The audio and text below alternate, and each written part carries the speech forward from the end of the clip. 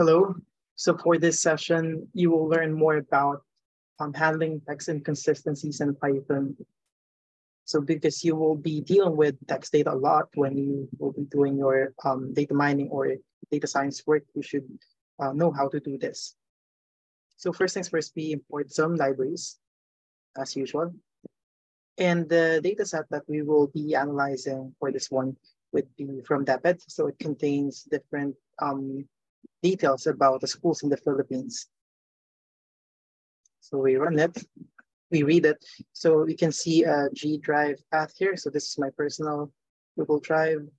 I've uploaded the DepEd dataset here. So for the first one, this is for 2012. And the next cell is for 2015. So I'm just reading them. You see different um, features. For example, you have ID, school name, region, province, municipality, division, district, year level, gender, and enrollment. Same goes for the 2015 data set. They have the same. Now let's merge them. Let's compare the two.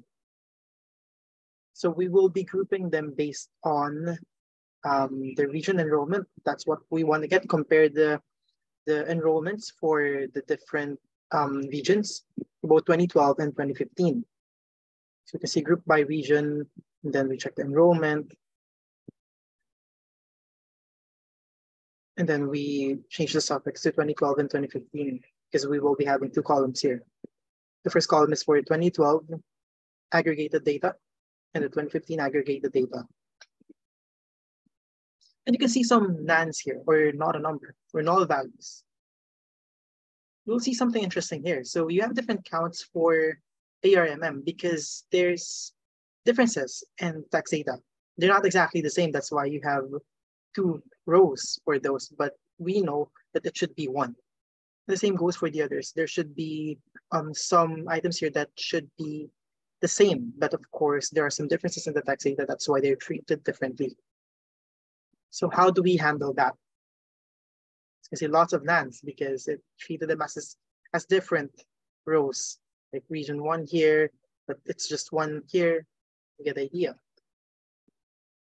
Then we check the number of unique regions. So um, there should be 17 regions in 2012 and 15 and uh, yeah, 15 and 2015. So ideally we should end up with 17 rows if we merge it properly. So how do we handle that? So there's an external library for string matching called Fuzzy Wuzzy, and it is not automatically installed in Google Colab. So to install it, use this line and it will, it will install the fuzzy wuzzy. Then after that, you import the process function inside fuzzy wuzzy library. So how does it work? So it basically compares the um, two strings. So for example, we have Philippines here with the raw spelling, so Philippines with an extra S. And here are your different um, items in the list that, that will compare it with. So you could um, add more details here. So there's Philippines, Singapore, and Philadelphia. And if you use the process of extract one, it will return the uh, most similar text. In this case, it's Philippines, because there's just um, an extra S, and it uses Levenshtein distance behind the scenes, or that's also called the minimum edit distance.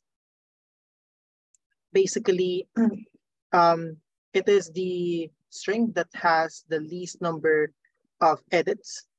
For example, in this case, you only add one S, that's just one. So it is the nearest. Unlike say Singapore, you will have to um, add S at the start, you will have to um, also include G because G is not present here. There's so many operations that we have to do for Philippines with the wrong spelling to become Singapore. So that's what's happening when you use Levenshtein distance or the minimum edit distance. Won't go deep dive on that. That's um, in the field of NLP. So this is just for you to know how to use that tool so that you could um, handle these inconsistencies. So another example would be this one. So extract one, Japan. Uh, which one is the most similar to Japan? Apparently it's the Philippines, but it's quite far. As you can see, the score is low. It's just 36. So um, the score ranges from zero to 100. You can think of it as probability. How similar is this text with um, the text that we have here. So it's quite far. So we use that. And I've created um, this code here that will do that for us. And I arbitrarily set the um, threshold to 50 and it will get the best match. So basically I'm creating a region mapper dictionary here.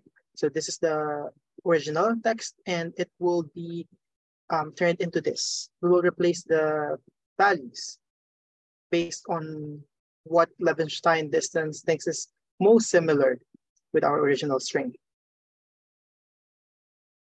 And if you do a spot check, it, it makes sense. Um, the mapping here is correct, actually. In other examples, you might have to change the threshold values. In some cases, um, it will never be 100% accurate. For this example, it just so happens that we can do it perfectly. But for most um, applications, it will not be like that, but at least you will probably have around 80, 90% accuracy, depending on how you tweak it. So it's not going to be perfect, but at least it reduces the work that you will be doing.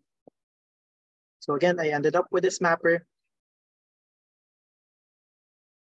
And um, let's do some checks. So for example, um, I check the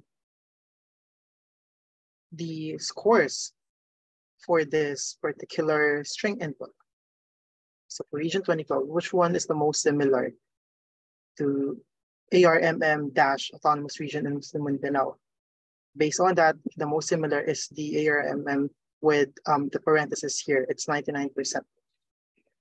So that's basically what the process extract one is returning, the most similar string out of all the um, items that we have in that list.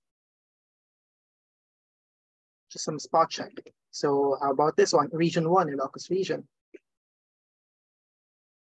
So it's not, well, you have multiple items here. So in this case, um, you will, you might be getting the wrong one. So the Bicol region, let's check it here if it is correct. Region one, Apparently, when it did the mapping, it, it got the correct it got the correct one, but they all have the same um, edit distance. So in this case, you might have to do some extra modifications.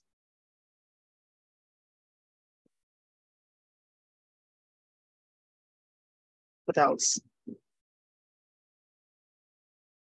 Um, process extract um, region 4A Calabarzon. As you can see, it, the um, item being returned is not actually what we want. It's not always perfect, right? That is why I actually added this extra step here. When we did these comparisons, it's just the text as is, but I replaced um, the region with um, a null string or empty string. And with that extra pre-processing, I'm getting the perfect mapping. As you can see here, if you do spot check, these are all correct. But with the default string, it's not going to be correct. So you might have to do some extra pre-processing when you do this next time. It really depends on the data set. It is case to case. Just happens that I I know how um, Levenshtein distance works, so I know that if I do this extra pre-processing step, it uh, will give me a better, um, better scores for the items that I do really want to get. In any case, we will be using that mapping, which is correct. So after doing that, I, I replace the values with the um, values based on the most similar ones.